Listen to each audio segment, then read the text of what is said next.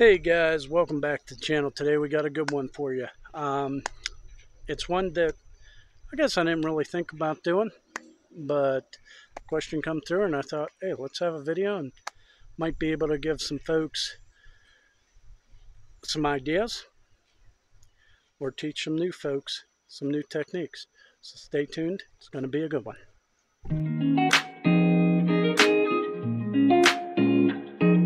Hey guys, welcome back.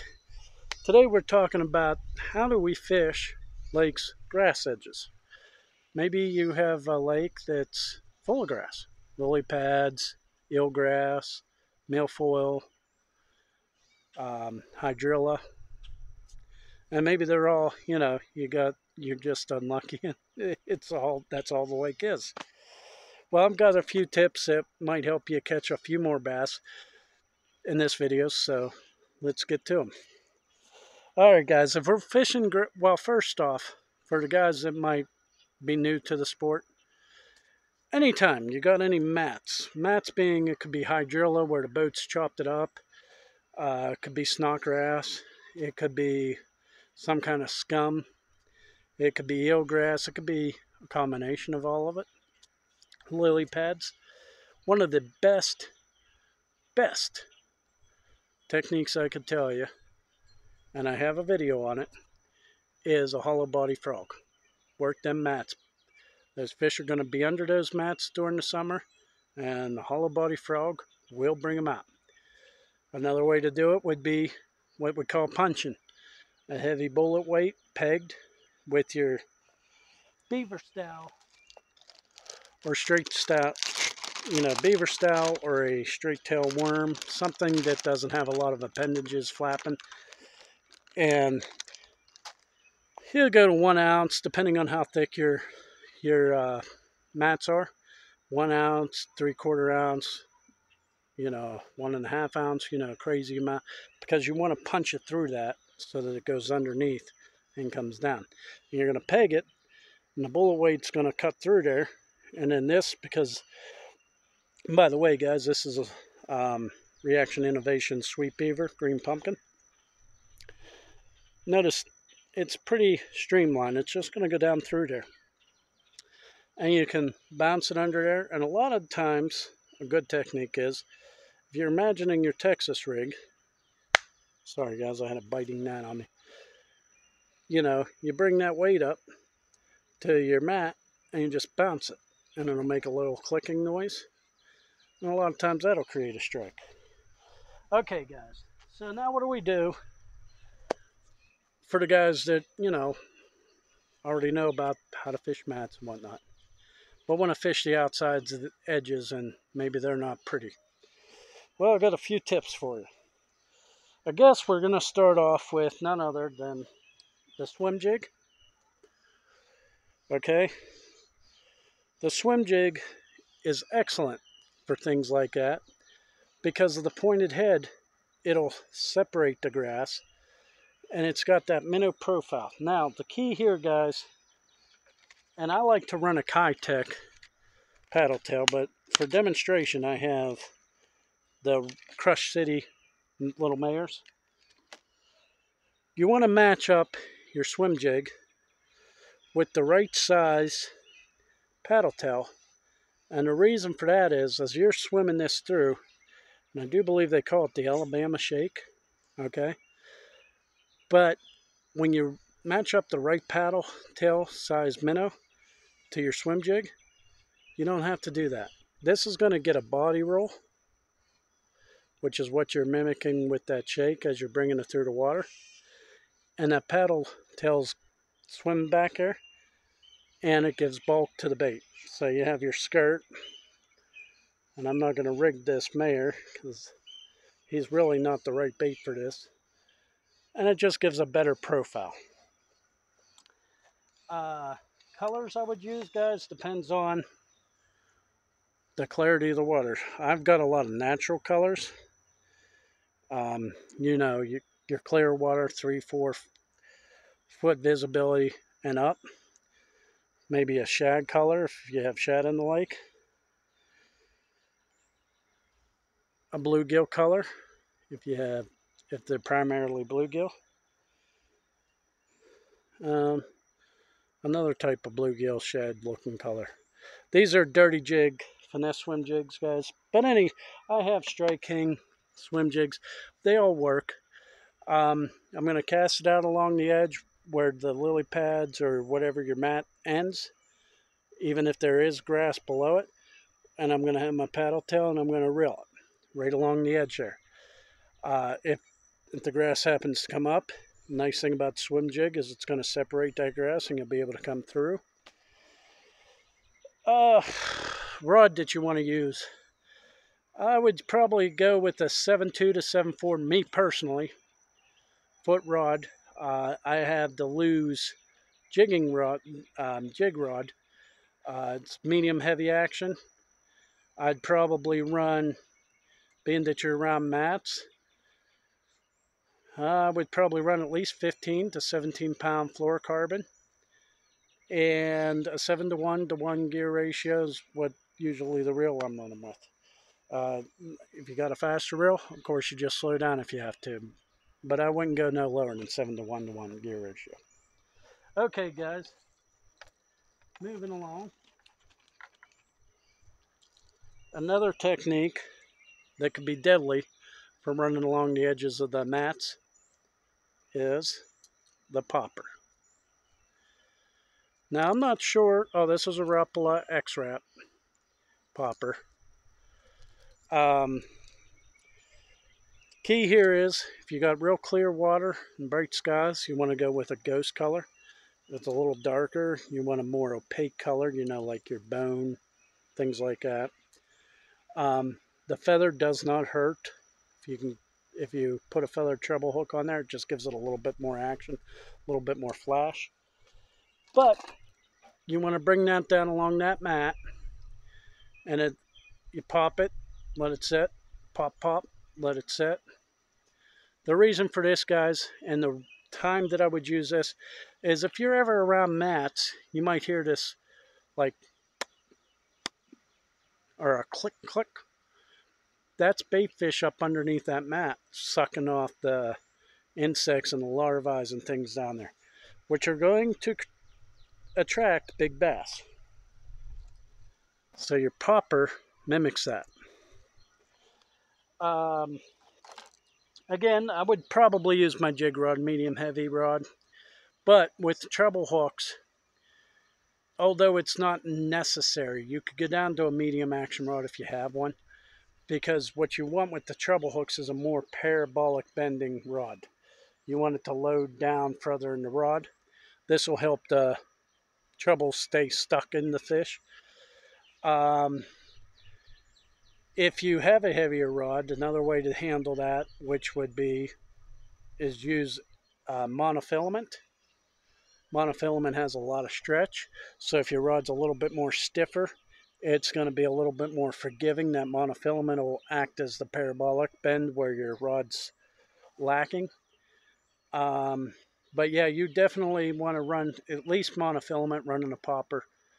Uh, again, depending on the size of the fish in your lake, 15 to 17 pound test. If you got four and five, six pounders, you can run 10, 12 pound test. Uh, but this also a disclaimer, depends on how thick your cover is. If you're in real thick cover or close to real thick cover, you're going to want a heavier line to be able to jack them out of there. You might even want a little heavier rod to be able to guide them back to you so you don't get into the mess. Okay, guys. Technique, technique number three, four, five, whatever it is, would be the owner keel weighted swim bait hook. Why I like this for fishing around the edges of grass is because I can Texas rig, say the Mayor for instance, and it becomes virtually almost completely weedless. Now it's not your swim jig, it's not your Texas rig, which we'll get to, but this is going to let me come across the tops of the, you know, the tops of the grass along the edge of the mats without catching everything and give a presentation like a, you know, a bait fish. Again, this is the Mayor by Rapala Crush City Mayor, green shad color, and an owner keel weighted swim bait hook. It's just a different profile.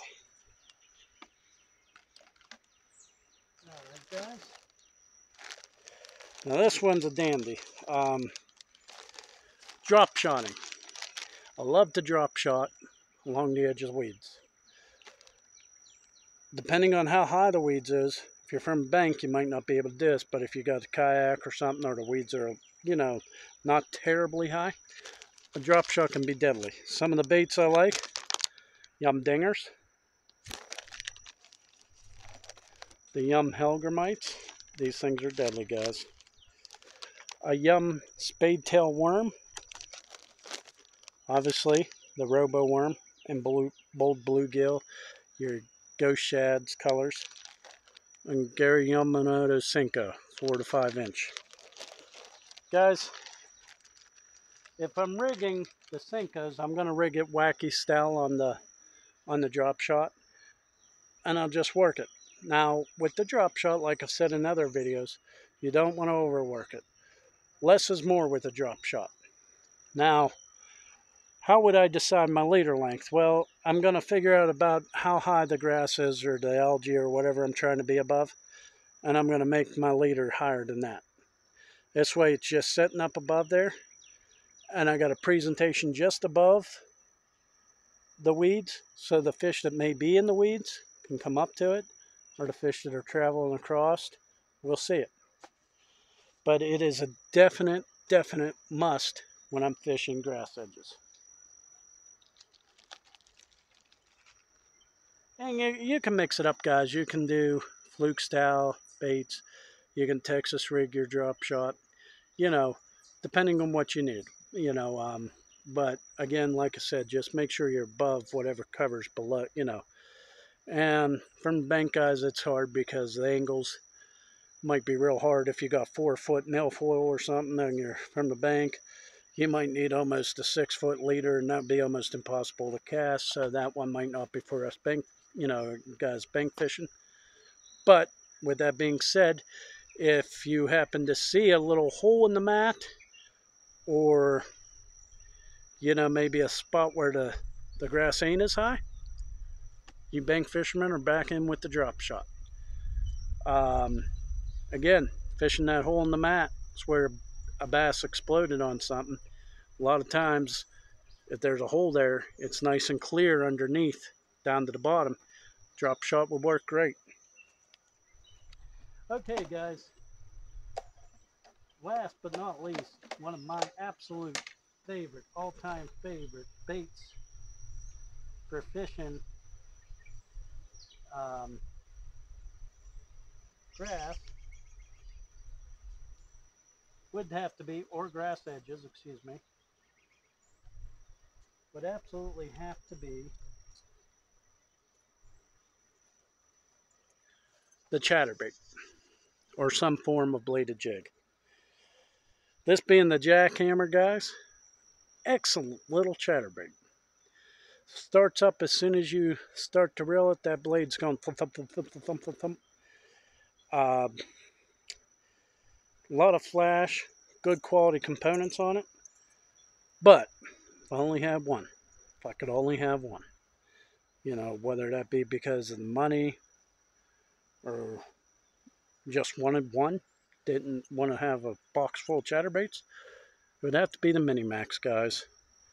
This is fairly inexpensive. I think they're about eight bucks now. Again, it starts up as soon as it hits the water and you start reeling. I've caught absolute giants on this.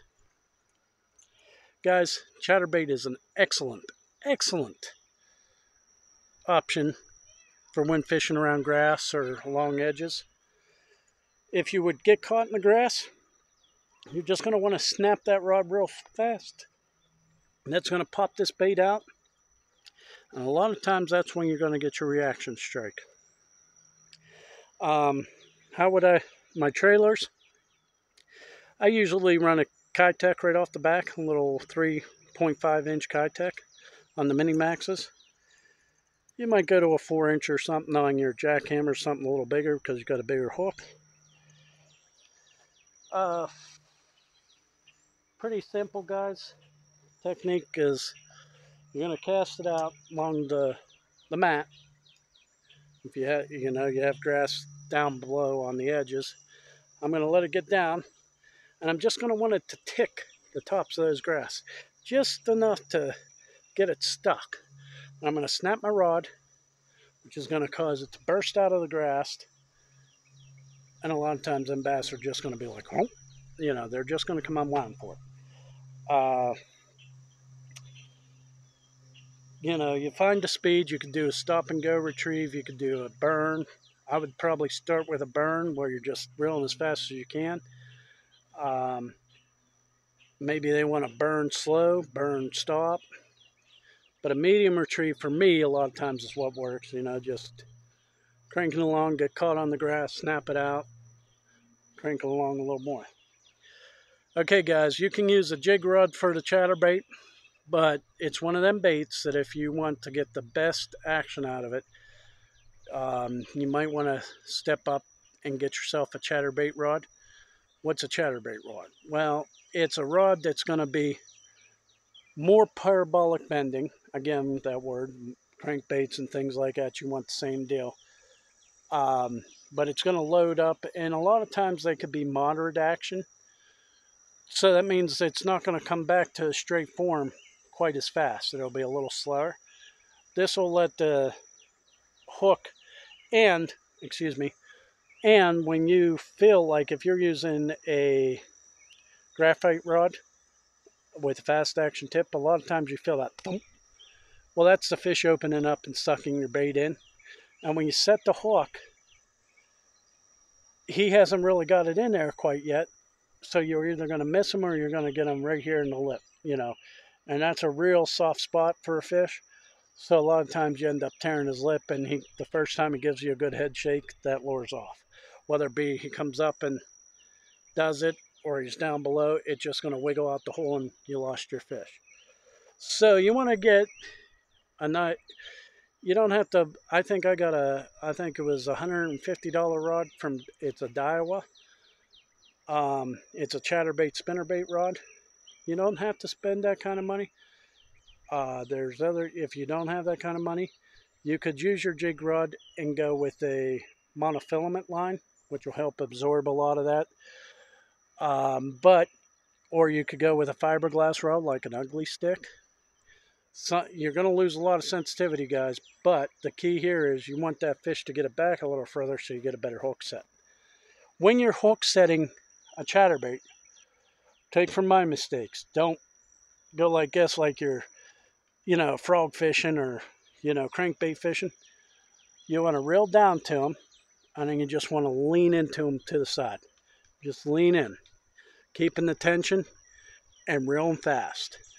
Guys, let the fish fighting you against you push that hook deeper.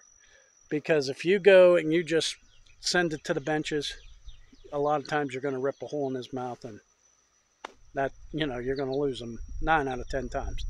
But if you reel down to him where you feel the pressure and you just lean into him, it's going to drive that hook in deep and it's not going to rip his lip. And as you're reeling and keeping tension on him, he's pulling, he's just burying that hook deeper. And that'll end up get, you know, your, your uh, land ratio go much higher if you do that. Well, guys, that's just a video um, I wanted to put out there. I think it, uh, you know, think it should help a lot of folks. Uh, if you haven't subscribed, please consider doing so. If you liked the video, smash that thumbs up button, guys. And as always, I know I say it in every video, guys, if you have any questions or anything you want to add to a video, or you just want to say hello, please leave it down in the comments below. I love hearing from you guys. It means a tremendous amount to me. All you guys do. So we'll see you on the next one.